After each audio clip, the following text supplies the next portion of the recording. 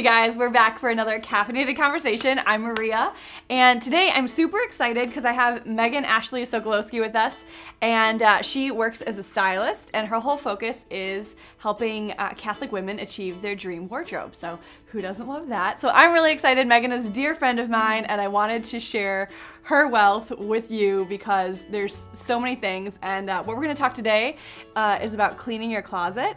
And I just did this. Meghan has these tips, and I just did them, and like it's changed my life. So we want to share it with you. Um, 1st Mm-hmm. how do you take your coffee? Um, extra hot with a little bit of milk. Okay. Actually, it kind of depends on my mood, but it always has to be really hot. Not a big ice ice coffee. Do you have to reheat it? Because by the time All you're the done time. with your I actually gave up the microwave for Lent.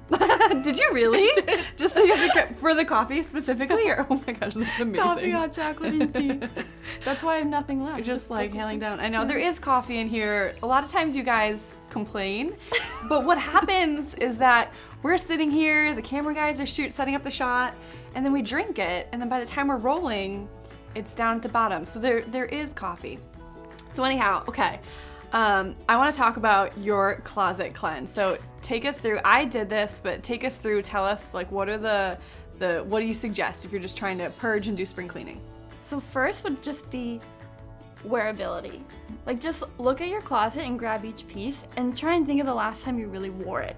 Because I have so much stuff I'm like, oh I love this, this is so cute. Like, Yeah. oh I want to wear it to like this type of night or I can wear it to work or whatever. But like, do you really wear it? Like, uh, you really have to like take it really want it. Well, because you said it was one of part of that saying, um, like, would you pay double for this now? Do you love this shirt? Would you pay? Would you pay twice for it to keep it in your closet? Yeah, like how much it shouldn't be. I think a lot of times people buy clothes and they're like, well, it's $12. Like, is it worth $12? Whereas the question should be more like, is this, it should fill a gap in your closet. So, like, is this gap in my closet worth X amount of Okay. money? And so when you're shopping, you almost don't really look at the price. Yeah, that's it's just like if it's worth it, like then it's worth it. Okay. Um, and then when you do put more money out for something, you'll uh, take care of it better and appreciate it, and you really will love it if you are spending that much money. It's true. Okay, what's number two? Um, wearability is, and then fit. Yes. Okay. Fit is really big because there's, oh, I just can't stand it in the mornings. Like when I would have like something only fit like sometimes like if I had like one or two Stresses extra you pounds, out, yes. and like you're on that like second pound and you put it on and then you're like ah! and then It's you're so cranky in the morning and like your whole day It's is like true. Or if it's too complicated, I feel like. So yeah. So yeah, fit.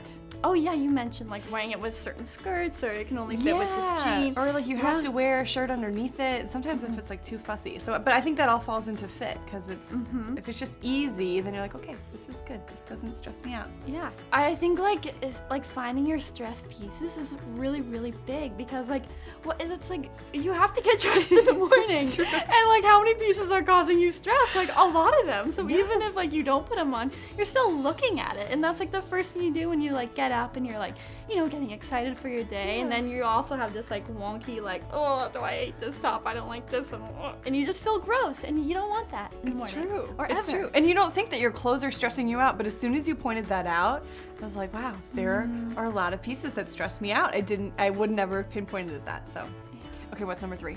Number three is um, quality. Yes. So uh, is it even in good condition? Hmm. Like is it nappy or is there a hole in it or blah blah blah? You know. Okay, what's number four? Number four is mood. So when you put it on, like do you just feel pretty?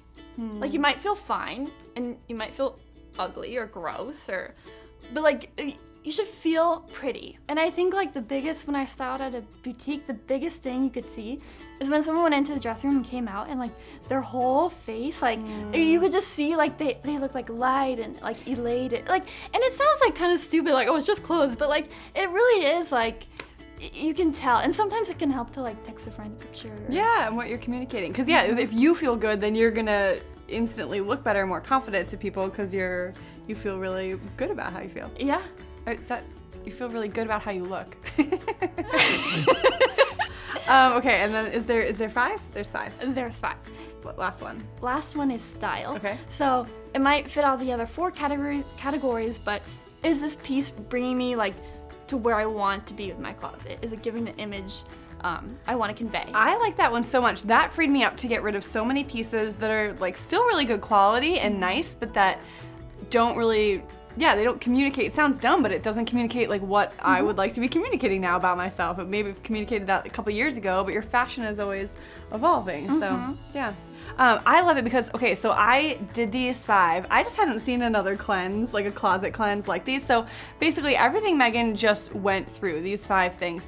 You have to yes answer yes to every single piece in your closet for these. And if it doesn't answer yes, it goes in the donate pile mm-hmm. or the sell pile, sell, sell it on Poshmark or Facebook Marketplace or wh- whatever you do. And um, or donate it. And so that was really tough because there were certain ones like I would get all 4 mm-hmm. and then I'd be like, oh, but it doesn't really communicate what I want to be communicating about myself. Yeah. So it was so cool. I ended up donating five bags of clothes. I didn't even know I had five bags of clothes to donate. And it was so cool because I took them to my local parish and we have, it's called the Dorothy Day Center. Mm-hmm. And so they have like homeless people in to have like a lunch or um, people just have really low income families and it's hard to get everyone, you know, um, clothed.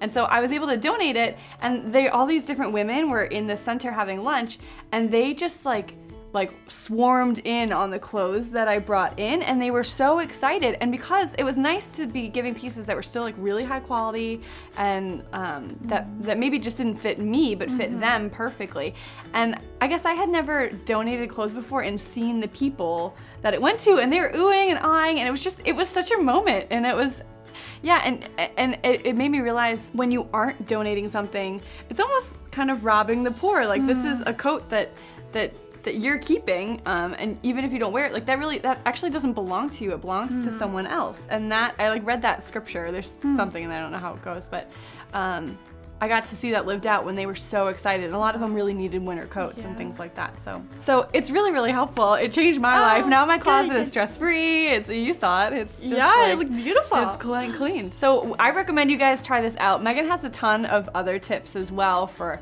how to find the perfect jeans and just like I don't know. What are some of your other blogs?